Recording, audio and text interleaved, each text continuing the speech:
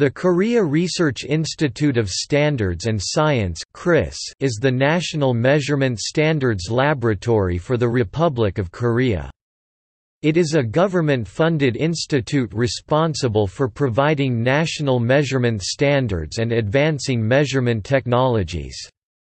KRISS is also an active member of the General Conference on Weights and Measures CGPM.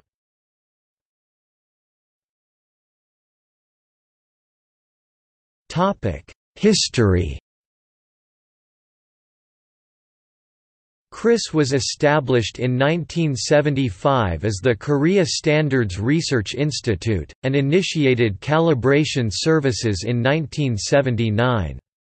The institute became known as the Korea Research Institute of Standards and Science in 1991. In 1999, KRISS was officially designated to serve as the National Metrology Institute by the Framework Act on National Standards, Article 13. It maintains South Korea's primary measurement standards.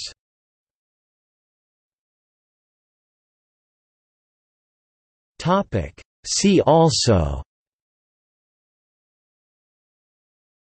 HLA radio station, time signal broadcast by KRISS Metrology